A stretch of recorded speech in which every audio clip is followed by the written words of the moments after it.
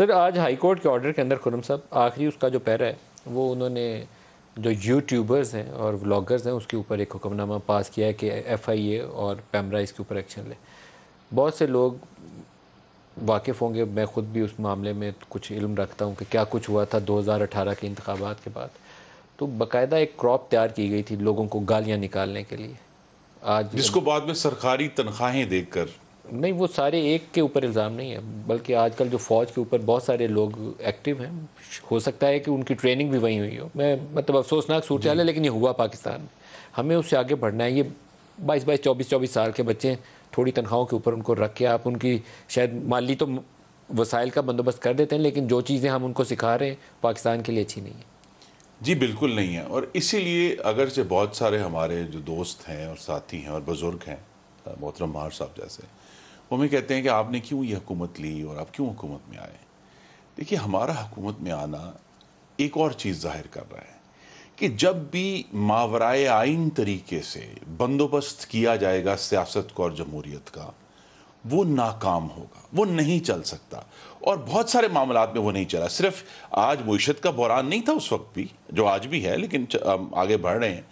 खारजा policy का बहरान था, वफाकियत का बहरान था। और मैं सिर्फ़ एक बात बड़ी छोटी सी थी।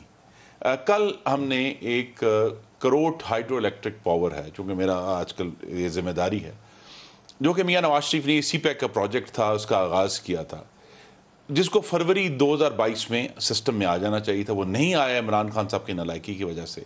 लेकिन कल उसका अफ्ताह था 720 मेगावाट अभी आज भी मैंने चेक किया तो 720 मेगावाट प्रोड्यूस कर रहा है। उसका अफ्ताह करना था शहबाज शरीफ ने। लेकिन डिस्ट्रिक्ट रिटर्निंग अफसर चूँकि वहाँ ज़मीनी इंतखब हो रहा है, उन्होंने मना किया वज़ी अजम को कि आप मत जाएँ। और शहबाज शरीफ नहीं गए। अब आप कंपेयर करें, इमरान खान ने एक दफ़ा नहीं, दो दफ़ा नहीं, बारहा आज़ाद कश्मीर में, गिलगित बल्तिस्तान में खैबर पख्तूनख्वा में डिस्ट्रिक्ट रिटर्निंग अफसर की वाज ममानियत के बावजूद वह जलसों में गए। उन्होंने जलसों में अपने स्टाइल से गलत तकरीरें की और कहा देखो मैं आ गया हूँ।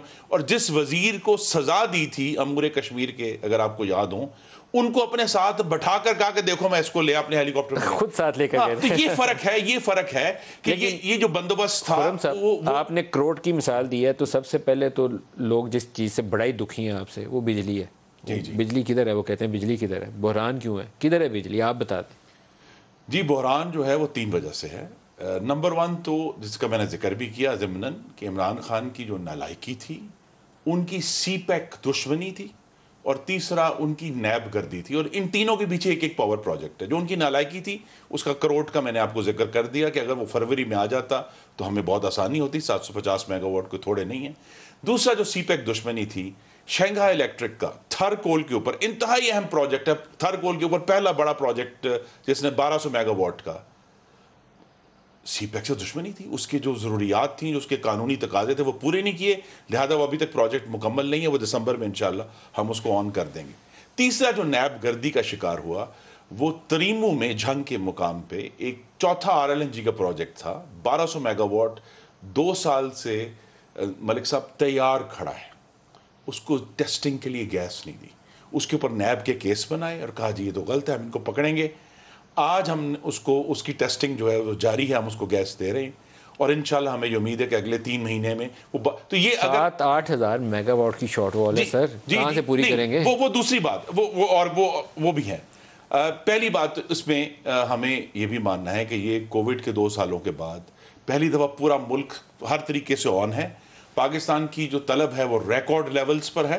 वो वो एक चैलेंज है हमारे डिमांड जी डिमांड जो है अगर आप पूरी एग्रीगेट करेंगे पूरे मुल्क में कहीं भी एक सेकंड भी की लोड शेडिंग ना हो तो तकरीबन तीस हज़ार मेगावाट तीस हज़ार मेगावाट जो तो हमारी प्रोडक्शन कैपेसिटी कितनी जी प्रोडक्शन कैपेसिटी इस वक्त जो है वो चौबीस हज़ार से ऊपर नहीं है। इस वक्त चौबीस ऊपर हम नहीं से ऊपर नहीं है। देखिए हम हम मैं मैं सिर्फ़ एक, एक बात करके मार सर हम जो है ना वो फिर अपना खून जलाकर जब बिजली पैदा करेंगे तो बिजली की कीमत के भी क्राइसिस हैं। सिर्फ़ एक जो अच्छी खबर है, जो आपके तवज्जो में देना चाहता हूँ, वो ये है कि अल्लाह ताला के करम से वो तमाम प्रोजेक्ट्स जो मियाँ नवाज़ शरीफ के हाथ से शुरू हुए थे, उनकी बहुत बड़ी तादाद, कुछ तो आ गए, दो न्यूक्लियर पावर प्लांट और करोट, लेकिन एक बहुत बड़ी तादाद मजीद पाँच हज़ार मेगावाट अगले साल के दौरान इस सिस्टम में आएगी। हम उसको शामिल करेंगे। हम नया सोलर पावर का बहुत बड़ा प्रोजेक्ट पाँच से दस हज़ार मेगावाट का शुरू करेंगे।